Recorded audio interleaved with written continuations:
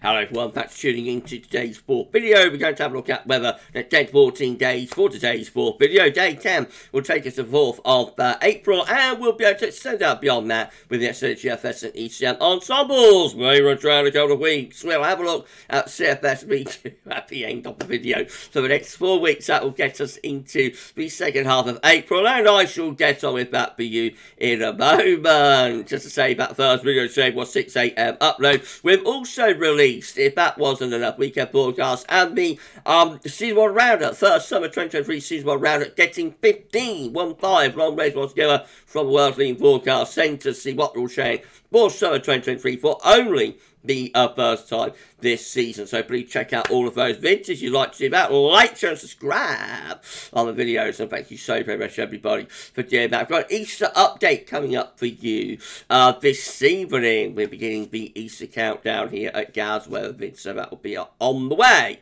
Um, probably around 6, half 6 is something like that, I would have thought. Okay, having a lovely Saturday? Well, well, well, well, well. And uh, let's crack on with your 10th of all thing there. So we're going to start off with the Central England temperature. The uh, CET is uh, currently sitting at 6.4, which is 0.8 of a degree above the 61 to 1990 average. That is provisional to uh, yesterday to the 24th of March. These are the GFS upper air temperature and precipitation ensembles that goes at London today. The red line is the 30 year upper air temperature average for London. We're starting off about average at the moment. We're going to have a cold snap coming up uh, later weekend into early next week. But the middle of next week turns much milder and also unsettled though. And then uh, end of next week into the first weekend of April, drop in temperature could turn quite chilly again. Uh, and then hovering close to average through the first week into second week of April, although with a lot of scatter, mild ensemble levels up here, cooler or colder ensemble levels down there. It looks unsettled as well, so got some very wet weather to come tonight across much of southern England. Kind of drier days Sunday and Monday, uh, and then we're back into uh, wetter weather through most of next week. I'm probably saying unsettled even into second week of April.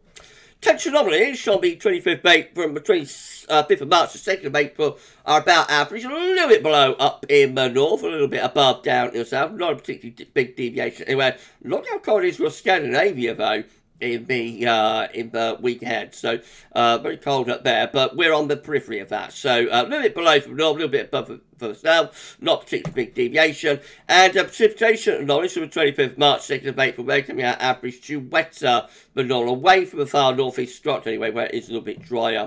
Latest wind from map from earth, shows we've got winds from various directions today. So we're putting in some colder air actually into the far north and northeast now. That will push south across country tomorrow. But got another area of low pressure just here around that. We've got milder winds from the south and from the southwest into more southern parts of the country. So uh, winds from various directions there in uh, in at the moment today, but tomorrow the northerly wind will push down across the country. Right, going through to chart data then.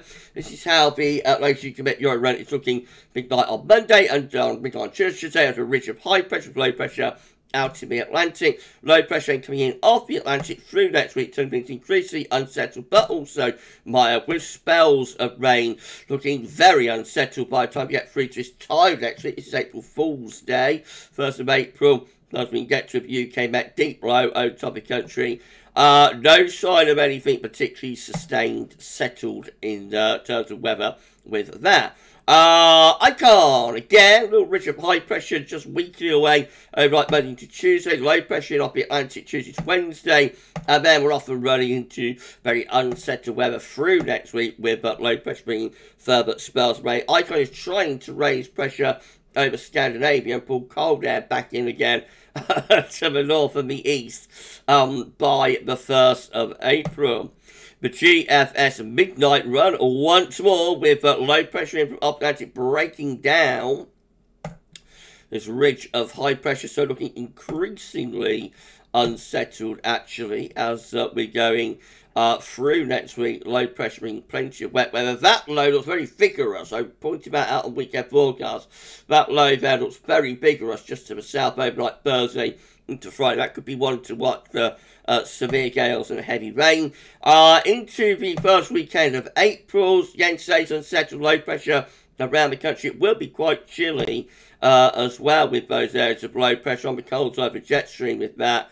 Uh, day 10 looks like that, trying to get a bit of a ridge building from the southwest to get things a bit milder, but notice high pressure building again over Greenland and Iceland, and just beyond day 10, actually running up towards Easter, we start to pull down a colder northerly wind again. Look at the upper air temperature, bringing minus 10 Celsius iceberg back into Scotland. So uh, that's Maundy Thursday, the 6th of April, looking uh, just beyond day 10, looking very unsettled and cold. We've got blocking area of high pressure around Greenland, Iceland, low pressure is in the Baltic Sea and uh, in between we bring in that cold north northeasterly. That carries on to Good Friday, 7th of April. Oh dear, oh dear, oh dear. Uh, beyond that, does settle down over the Easter weekend, but is cold. There will be overnight frost. I suppose in the April sunshine it wouldn't feel too bad, um, but quite a cold Easter there with the GFS midnight run. Uh, GFS 6Z, we are having an Easter, proper Easter update for you this evening. Uh, GFS 6Z, again, with low pressure breaking down range on Tuesday, bringing wet and milder weather in from off the Atlantic. Uh, rest of next week looking very unsettled. That area of low pressure, uh, 13 to Friday is one to watch, sprinkle away plenty bringing some very heavy rain and gale force winds. That clears away into the first weekend of April, Saturday the 1st, this time next week, pulls in a colder north or northeasterly uh, again, uh, then a high pressure which is through the country in quite chilly air uh, around day 9 and 10. And then beyond that, more low pressure punching through from off the Atlantic as we're running up towards Easter. Again, similar idea. This is Maundy Thursday, 6th of April, and the winds are in from a cold north or northeasterly direction. Upper air temperatures look cold then. Uh, that's Good Friday again. Excuse me, again, northerly or northeast winds looking cold and uh, you know not very spring-like. Uh, that sees a Saturday to uh, good uh, to back on Monday. It's a Monday. High pressure is gradually building through the country. At least that brings dry weather. It's a bit on the chilly side, I would have thought, but. You know, it's not a washout anyway on either of these uh, GFS runs. But as I say, we will be having a look at Easter in detail uh, a little bit later this evening. If you enjoyed the video, then please think you like, share, and subscribe. Thank you so much, everybody, for doing that. Why not drop a comment and let us know what you think about this and all of our videos. And don't forget to tell friends about Gals Levy. Thank you so very much, everyone, uh, for doing that. We've put around 13, that's what one three subscribers to get ourselves to uh, 16 uh, 15.7k. So if you could give us a sub, then it would be absolutely amazing. Thank you so much, everyone, uh, for doing that. GEM showing uh, high pressure collapsing on Tuesday with uh, low pressure in from off the Atlantic through next week, bringing spells of rain wet, windy, and pretty mild uh, as well. But next weekend turns cooler again, so low pressure moves way to the east. We start to bring some cooler winds back in from uh, the northwest. We head up towards day 10.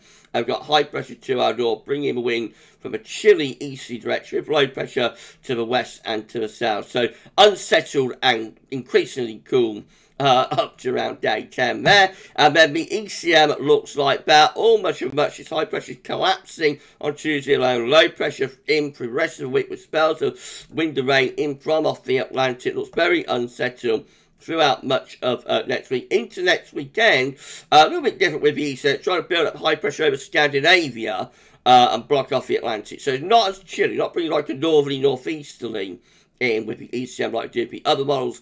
Uh, nevertheless, it's the idea that the, uh, the, the Atlantic low pressures are slowing down, so they're coming up against this blocking area of high pressure. It certainly wouldn't be all that mild, let's put it that way, around, say, 7, 8, 9, 10. This is the precipitation forecast based on the ECM run from Tameteo.com. Um, proper old deluge should come tonight across many certain parts of England, Wales, and into tomorrow morning. That rain will get out of the way, bearing into those northerly winds, bring wintry showers into the north and the east. Being dry on Monday, but low pressure back in for Tuesday. That bring more wet weather in with it. Further spells of rain as uh, we go through next week as well. Looking very unsettled throughout uh, next week. And uh, even up towards day 10, we've got more wet weather here across the country. This area of low pressure stalling as it comes up against that Scandinavian high. These are the options on the table within the ECM ensembles today. Four day 10 from the Icelandic Met Office gets us to the 4th of April. Uh, 11 members of the ECM ensembles with low pressure to the north, high pressure to the south. Winds are coming in from a westerly direction, so uh, unsettled there. 11 or another 11 with low pressure in from up Atlantic and quite unsettled. Some higher pressure between Greenland and uh, Scandinavia. We might start to bring the jet stream a little bit further southwards that as well. Nine with low pressure. Uh, actually controlling the operation run, by the way. So uh, that Scandinavian Heights is jet sending uh, jet stream low pressure a little bit further southeastwards. Uh, nine just here with low pressure out to our north and west, high pressure to our south and south, southeast. That bring up more of a southwesterly flow, but unsettled but mild. Eight with high pressure blocking around Greenland and Iceland with low pressure to our south and east. Going to be unsettled and cold. Uh, seven here with low pressure in from off Atlantic. That looks very unsettled and uh, not that cold. And five with more low pressure uh, through the country, high pressure over France. Going to be unsettled and milder for the south. A lot of different options there. Uh, most will involve low pressure in one form or another, so it looks quite unsettled. Uh, including timings are the options that we've got. This gets us to the 9th of uh, April into the Easter weekend. We've got 19 members of the ECM ensembles with a blocking area of high pressure around Greenland ice and low pressure is to our south and east. The winds are coming in from a cold east or northeasterly direction. Uh, with that, we've got another 19 with high pressure over France, low pressure to our north, and that's going to be bringing up wind from a westerly direction, so that's going to be milder. And then we've got 13 with high pressure over and just to the east of the country, bringing the wind from uh, the east with that. That's going to be dry, but could be a little bit chilly uh, with wind coming in from an easterly direction. Seven beaches, Bali, bits of Biventure, middle of our high tides break down into week periods. The first week period takes from the 25th of March to the 31st, coming wind with low pressure in from off the Atlantic. Looks very unsettled. Week two will be the 1st to the 7th of April with high pressure towards Spain, and that's bringing up a southwesterly wind. That should be a little bit milder and a little bit drier, especially so for the south and for the west.